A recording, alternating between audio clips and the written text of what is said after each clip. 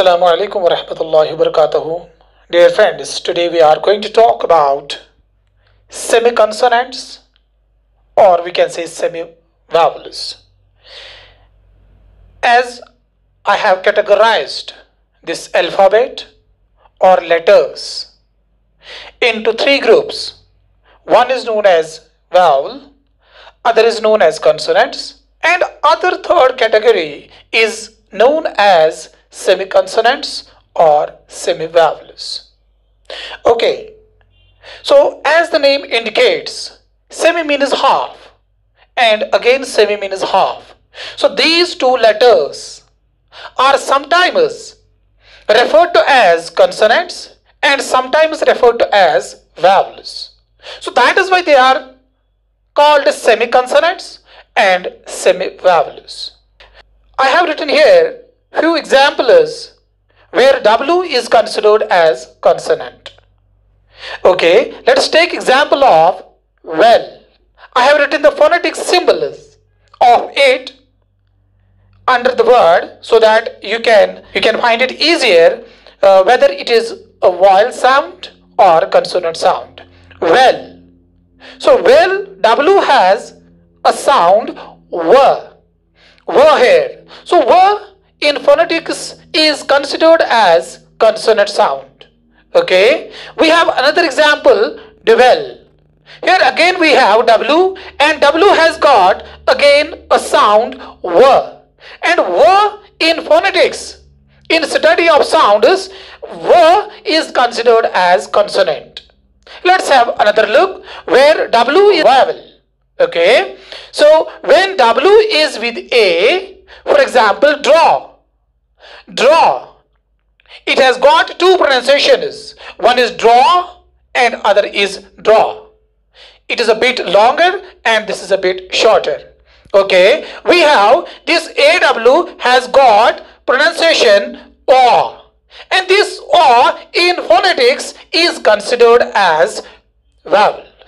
Okay, and this O is again considered as vowel sound.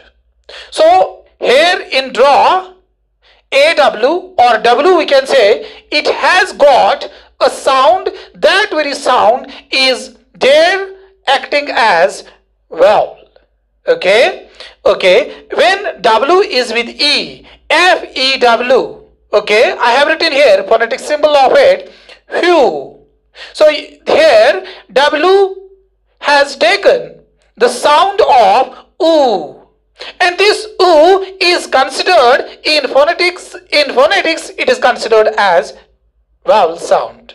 Okay? When w is in combination with o. For example we have love l o w. Okay? It has uh, got again pronunciation o. O is again a vowel sound considered in phonetics Okay, hope you may have understood this that where W is considered as consonant and where W is considered as vowel. Okay, let us now concentrate on Y. Where Y is considered as consonant and where Y is considered as vowel.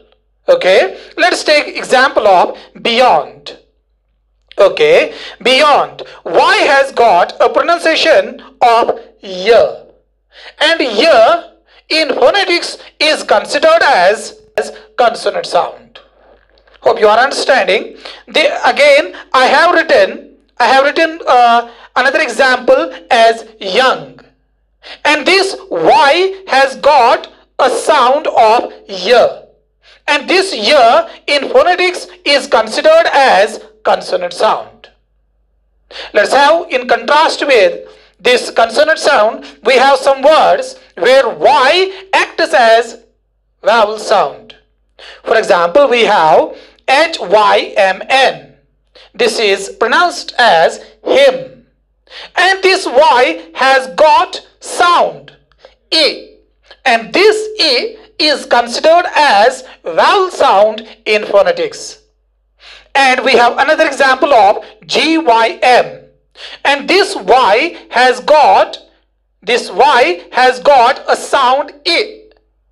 I here, in this word, it has got E sound and this E in phonetics is considered as vowel sound. And we have another example of synonym. Most of the people mispronounce it as synonym or something else but this is not synonym or something else that you are pronouncing it is actually I have written the pronunciation of it it is synonym synonym okay uh, so I have to tell you here that this Y and this Y these two Y's have got a sound I which in phonetics in study of sounds is considered as vowel sound. Hope you may have understood why W and Y are considered as semiconsonants or semivowels. I hope that you must have understood this topic why W and Y are called semivowels or semiconsonants. If you haven't understood this means you are weak at phonetics. What does that phonetics mean? Inshallah, my next video is going on this topic. Yes, phonetics. Dear friends, if you haven't subscribed my channel yet, do subscribe it and keep watching. Thanks.